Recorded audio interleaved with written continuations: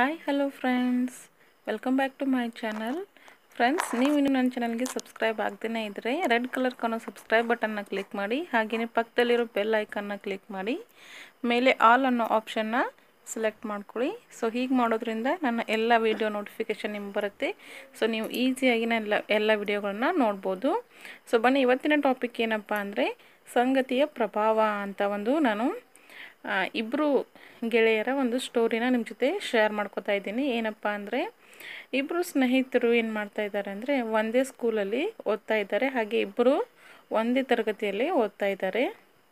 So ನೋಡಿ ಇಲ್ಲಿ ಚಿತ್ರ ಸಮೇತವಾಗಿ ತೋರಿಸ್ತಾ ಇದ್ದೀನಿ. ಬಾಲ್ಯ ಸ್ನೇಹಿತರು ಅಂತ ಹೇಳ್ಬೋದು. ಅದರಲ್ಲಿ ಒಬ್ಬನು ತುಂಬ ವಿನಮ್ರ, ಪ್ರಾಮಾಣಿಕ ಮತ್ತು ಜಾನನಿದ್ದನು. ದಿನಾಲು ಬೆಳಿಗ್ಗೆ ಸೂರ್ಯ ಮೂಡೋದಕ್ಕಿಂತ ಮೊದಲೇ ಎದ್ದು ಅಭ್ಯಾಸ ಮಾಡ್ತಾ ಇದ್ನಂತೆ. ನೋಡಿ.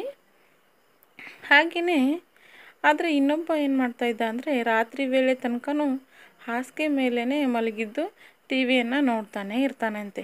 ಸೊ ಬೆಳಗ್ಗೆ ಸೂರ್ಯೋದಯ ಆದರೂ ಕೂಡ ಎದ್ದಿರಲ್ವಂತೆ. ನೋಡ್ಬೋದು. ಸೊ ಮೊದಲು ವಿದ್ಯಾರ್ಥಿ ಏನು ಮಾಡ್ತಾನೆ ಅಂದರೆ ಪುರ್ಸೊತ್ತು ಸಾಧಿಸಿ, ಅಂದರೆ ಸ್ವಲ್ಪ ಸಮಯವನ್ನು ಉಳಿಸ್ಕೊಂಡ್ಬಿಟ್ಟು ಗುರುದೇವರ ಬಳಿಗೆ ಸಾಗುವನು. ಹಾಗೆ ನಯ, ವಿನಯ ಹಾಗೂ ಗೌರವಪೂರ್ವಕ ಬೋಧನೆಯನ್ನು ಆಲಿಸಿ ಅದರಂತೆ ವರ್ತಿಸಲು ಅವನು ಪ್ರಯತ್ನ ಮಾಡ್ತಾ ಇರ್ತಾನಂತೆ. ನೋಡಿ ಈ ರೀತಿಯಾಗಿ.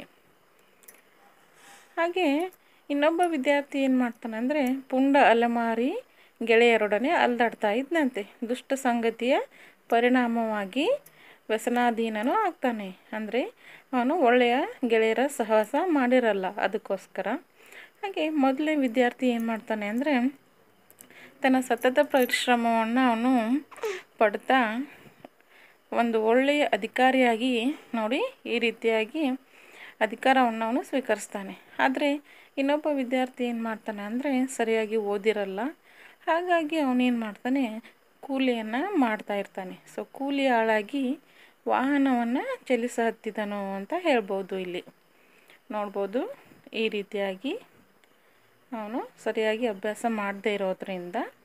ಹಾಗೆಯೇ ಒಮ್ಮೆ ಆ ಇಬ್ಬರು ಕಾಲ ಕಳೆದ ಹಾಗೆ ಏನಾಗ್ತಾರೆ ಅಂದರೆ ಒಂದು ಹಾದಿಯಲ್ಲಿ ಎದುರು ಬದ್ರ ಆಗ್ತಾರೆ.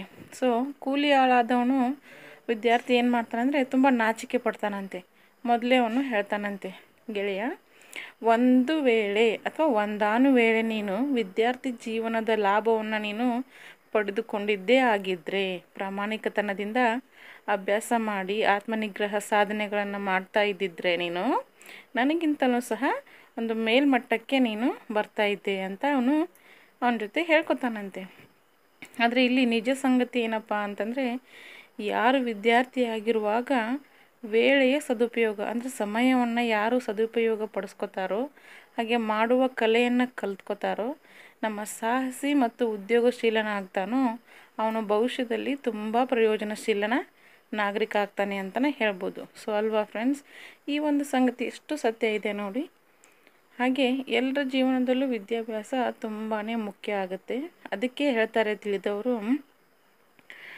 ಏನು ಹೇಳ್ತಾರಪ್ಪ ಅಂತಂದರೆ ವಿದ್ಯಾರ್ಥಿ ಜೀವನ ಅನ್ನೋದು ಬಂಗಾರದಂತಹ ಜೀವನ. ಅಂದರೆ student life is a golden life so ಅಲ್ವಾ ಫ್ರೆಂಡ್ಸ್ ಸೊ ನೋಡಿ ನನಗೆ ತಿಳಿದದ್ದನ್ನು ನಾನು ನಿಮ್ಮ ಜೊತೆ ಶೇರ್ ಮಾಡ್ಕೊಂಡಿದ್ದೀನಿ. ಇಷ್ಟ ಆದರೆ ಲೈಕ್ ಮಾಡಿ ಸಬ್ಸ್ಕ್ರೈಬ್ ಮಾಡಿ, ನನ್ನ ಎಲ್ಲ ವಿಡಿಯೋಗಳನ್ನು ನೋಡ್ತಾ ಇರಿ.